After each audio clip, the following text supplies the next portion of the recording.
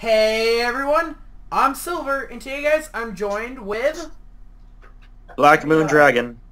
a very um sick Black Moon Dragon, we shall add. So if he seems out of character, don't pick on him, he's just not feeling well. Okay, buddy, so today, um, as of last night, on the 5th of May, this should be going up on the 6th or so, or not the 5th, on the 3rd of May, that we covered Domination. The skill that was leaked, I think, did it come out on the 3rd? I don't remember. It was, I want to say that yesterday, was it yesterday that we posted our videos? Yes. Oh, yeah, that sounds about right. So yeah, okay, so on the 3rd, they released the new Nubatama skill, Domination, which allows you to basically c- control a unit's, uh, another player's card. It's uh, sort of the first of the skill in the game I've seen.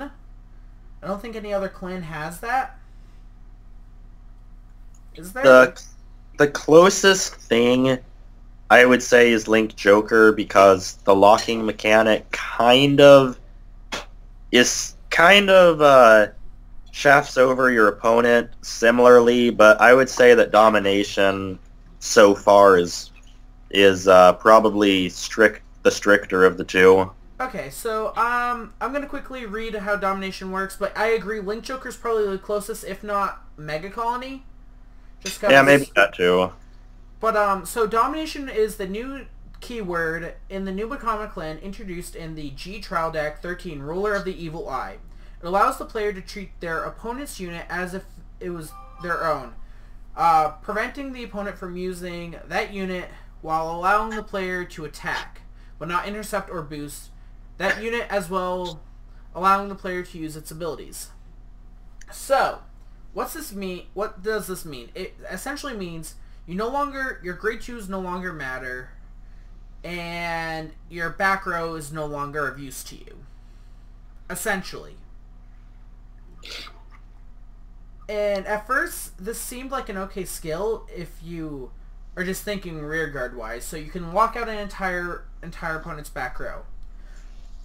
But as we read down the list, it basically elaborates on how the skill works, which is honestly terrifying. So, essentially how it works is while the ability is active, the player uh, the player with the domination keyword will treat that unit as his or hers is the master of that unit. Um, the unit under the effect effect is treated in dominated state. The master is treated as the dominating player. The former master of that unit is referred to as the original master. So, can is there anything thus so far wrong with this uh, dragon? I uh, can't think of anything Okay. off the top of my head, but then again, I'm uh, I'm delusional right now, so So I had this realization at work, but we'll continue down the list. This is sort of a as quick as a recap as I can muster for this of the previous video and how the skill works. So continue on. The unit in dominant state is not treated by its original master as his or her rear guard. Does anything click that's wrong with that right now? Well, doesn't that screw up some of the skill activations that say specifically targets your rear guard? it screws over almost every clan in the game. All paladin decks against this are useless if you take control of any rearguard circle. Bermuda has no bounces. Um, anything that shifts the field around is useless. But the skill only gets worse. So if you move on to the next line of wording, if a legion mate is in dominated state, so is the legion. So now you can take over a vanguard circle entirely. It, is that is there something wrong there? I mean, you can still attack with your vanguard. But then the drive check is conducted by your opponent instead. Exactly. So that is the big problem here. So a lot of this other stuff, I mean, if it's locked or deleted, it's no longer dominated. If the if the dominated zone, um, there's a whole bunch of columns. If the circle changes, it's considered neither player. Um, when the when a circle changes masters, it's considered neither as player's front row nor back row. So if you have a card that says target your front row, it doesn't do anything to that unit. It's just sort of middle row now. I believe, however, um, column, it's still treated as though it's in a column, though. But it changes columns, because if you read above it, if it's in the left column of the original master, it's now in the right column of the dominating player. Yeah, it's still in a column. It's just it's treated at, like it's just treated as though it's in a different column. Exactly. Could you So- ima- Could you imagine though, um, some of those units that like retire entire columns? Could you imagine if you get that skill off and Well, yeah. You'll retire up to three rear guards, but I mean that so far isn't bad. The skills sort of balance, but then as Black Moon said earlier, if you go down towards the bottom of the list, if a dominate vanguard is attacking, the drive check is done by placing the top card from the dominating player's deck into the dominating player's trigger zone. Does that sound too bad? well, uh, depends. Uh, the dominating player, uh, it's not too bad for them. The dominated player, however, uh, might be crying a river over this. Just take a second to let it sink in. So you, as the dominating player, perform, say your opponent strides. You're performing three drive checks. Where are those drive checks going next? You know, I've been wondering about this myself because, uh, like, think about it. If the opponent's doing the drive check, um, does that mean the opponent can give the trigger effects to their own units instead, or? Um, no, because it's counting as the player, it's counting as the attacking player's drive check. So I this guess the same. okay. So if we were to assume that that's how it works, then couldn't they just give all trigger uh, trigger effects to something useless like a back row or something? They could. and uh, just waste all the triggers. Oh, so, so when so say say I'm dominating your vanguard, you attack your vanguard to mine. I reveal the top, and it's on strides. I reveal the top three cards of my deck. I say I reveal two draw triggers and a critical. You can you get to decide where that power and stuff goes. But there's one thing even scarier about this. Is that I'm adding those three cards to my hand. Yeah, Domination is literally shutting down your ability to draw in decks that don't draw. Every deck that requires its drive check for guarding no longer has it. And what makes it worse is any deck that has standing vanguards or repeated drive check units. Think of the legend deck, the new Aichi Sendo legend deck where Blaster Blade gets a twin drive. Well, I'm just going to dominate your Blaster Blade Rearguard and your Blaster Blade Vanguard. I'm going to get five drive checks added to my hand. That's five more cards I have to guard with. yeah, that is a pretty scary uh, realization there. Kind of makes sense if you think about it, since that since Nubatama re- relies on limiting the hand size, Yeah. and one of the cruelest ways to do that, if you think about it, is uh, preventing your opponent from doing their drive check. Exactly. And to make the skill even more, I want to say unbalanced, is you're not allowed to call or ride on a dominated unit if that circle, if the circle's master is different from its owner. So let's say, and then the most extreme instance I can think of, I dominate all your rearguards and vanguard. I'm now being able to drive check off of anything that gets a drive check and you can't call anything. Your back row can't support. You can't bounce anything to hand. You can't move units around. Um, if your unit has an auto ability, I get to choose if it triggers. And if it does trigger, I get to choose the target area. Just, I mean, think of Great Nature Deck. Almost every important skill in their clan is an automatic. You attack Cran to the Vanguard. I choose a rear guard you don't want retired. And it's now gonna be retired at end of turn. sure you're gonna get to draw a card, but it, it can this skill is actually really broken and scary to face. Yeah, it uh, it is looking that way right now. Now, can you think of a way to maybe counter this? Well, you know, I was thinking about that myself. Um, I think that the that the clans that clear their own field um, will be able to get around it, like like uh, the Pale Moon. Uh, what the what is it? Hari, the one where everything on their feet field goes back to the soul. That one. Yep. I think that one will, uh, you know, be able to take this on easily. I think that Grand Blue decks will be good against this um, because of Hollow. Um, and everyone, um, I'm gonna stop you there just because you haven't looked at the trial deck yet. Um, open up the trial deck page or the grade three at the bottom of the link. The where, uh, you, where you got the, thumbnail. Ushinui. Yeah. Did you uh, read its first skill? At the beginning of your ride phase, if you choose a choose a card from your opponent's drop zone, if you do, your opponent calls that card to a rear guard at the end of the turn. Retire that unit. So you can literally Force them to call units. call units dominate, and you're obviously going to have cards that gain power off domination. So even in clans that clear their field aren't safe. And on top of that, say you have a full rear guard, and you're just like, nah, bro, I want to call your grade zero over your grade two in the front row, dominate, and at a return, I cleared two rear guards.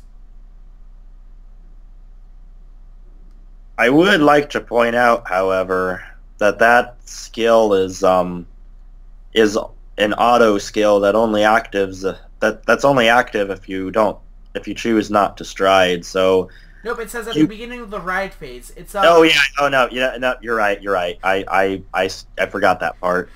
It, it- Okay, so just I'm sick. Forget what I'm saying.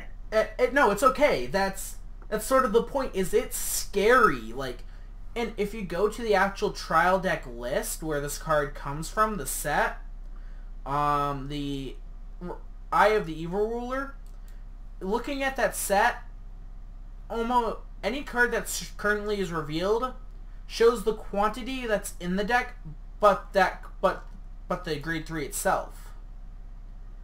We have no idea how many copies of this grade 3 we're getting in the deck. We know that's probably a minimum of two because every deck since whenever has at least had two grade 3s of their main unit. But we don't know how many the... We don't honestly know what we're getting for grade 3. I would say we're probably going to get four in this deck. Hmm. I'm gonna place my bets on two for this one, I mean, but. I wrong. We do also have two other grade threes, and they're giving us stride fodder in the stack. Yeah, that is a first, I must admit. A welcome change, though, for me. Oh yeah, no, I agree. It's just at work I realized that decks that rely on their rear guards are gonna get screwed over with this. You're gonna have a hard time moving stuff around. Um, it, it's just there isn't a lot you can do against this. Well, that also depends on what the cost is to get off those dominations. As uh, one of the commenters on one of my video pointed out, that in order to make it balanced, they're probably going to have to get off some form of of cost in order to dominate. It's probably going to be like a hand size requirement or a counter blast, soul blast. Um, might Yeah. as simply as be bind an opponent's rear guard, dominate a unit. And the only thing that makes the skill scarier is there's no time limit on how long a unit is dominated for. That we know of yet. Well, I mean, just by reading how the skill works. There's, it doesn't say at the end of turn, or at the end of turn it reverts back, because that wouldn't work with the drive check mechanic. Or the circle or the column mechanics. There'd honestly, at that point, domination would be no longer of a useful skill, but a skill that doesn't really do anything. I mean, it takes you get drive checks for yourself. I mean, you increase. You're literally decreasing your deck to increase your hand size. Which is the biggest problem with this deck, because you can literally just PG against your, your opponent's Vanguard attack, add three cards to hand, and decide how you're going to guard from there. Yeah. Which is honestly the scariest part about the deck, is it allows you to get the cards that your opponent should be getting to yourself.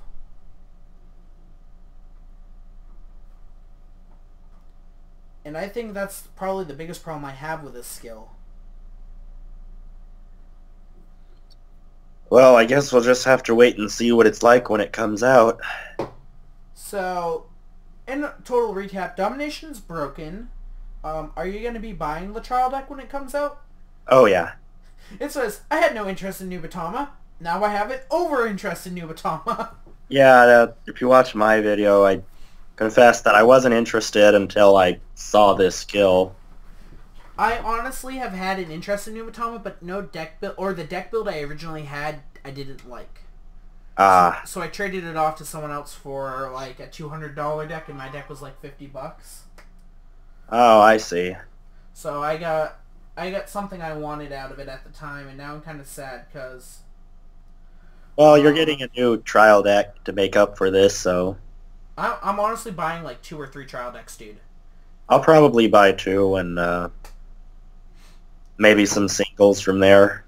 Well, you know what's sad is every Christmas when uh every Christmas when I get a trial deck for Christmas cuz uh normally me and my brother get a trial deck. I always get the hot stamp foil card. Oh, how funny. For the past 2 years I've had it in both trial decks. I got Chronojet or no, I didn't get Chronojet. I got the Pale Moon one. I got the Luard one. I have I think I have the original Chronojet hot stamp when it first came out. I have a hot stamp uh, Asha. I think I had a hot stamp mile. I can't remember if I had one or not. But almost, I've almost have a hot stamp for every trial deck that's been released, at least. that's another thing. Your Chronicle doesn't need any more trial decks. Yeah. But guys, that has um been Domination, uh, the most kinkiest skill in Vanguard yet. Can I uh, just interject one thing before uh, you wrap up? Of course, man. What do you think is more overpowered, this or Generation Break 8? Like, who do you think would win in a fight between the two? Um, Domination Genera- Generation Break 8? Okay, fair enough. I'm just like thinking, Generation Break 8 is good, but it takes so long to get there. Depending on the deck you're using. Yeah, depending on the deck you're using. Your Now- can get it out by like third stride. Yeah. But now I'm thinking, what if New Nubatama has a really broken Domination Generation Break 8? Well, we like- already know that. I think they already re- released the uh, Nubatama GB8. I don't think it's a key word though. It's not. It's for that's for the Fighters Collection. But just think, a Nubatama Generation Break 8 domination skill where it dominates either the deck or your opponent's hand or counterblast.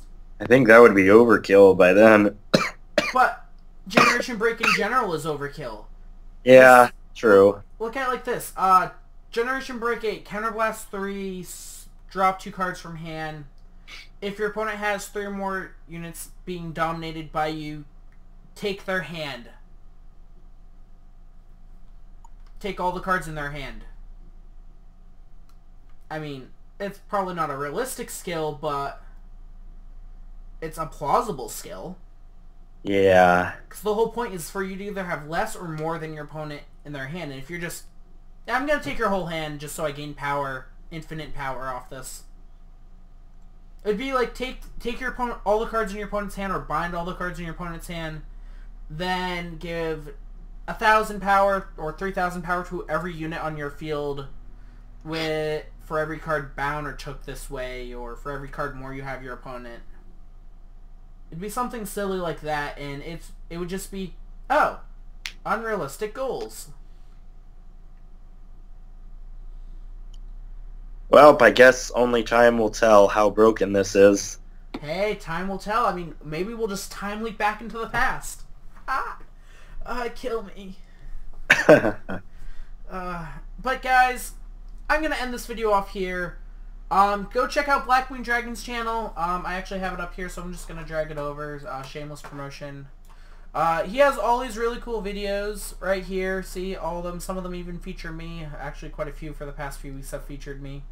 Um, actually, yeah, quite a bit has. But uh, yeah, guys, uh, check all of this out. He's a really good card fighter. Um, we're planning lots for June.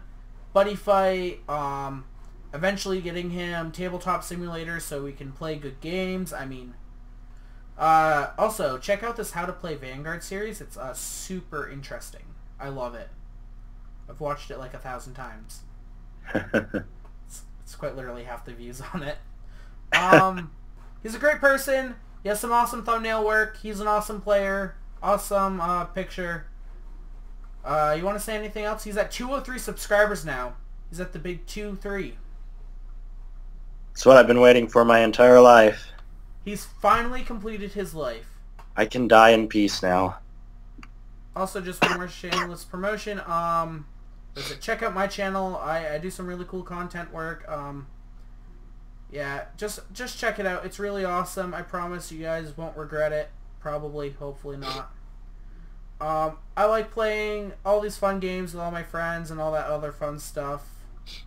Um, I'm at 111 subscribers. I'm so happy.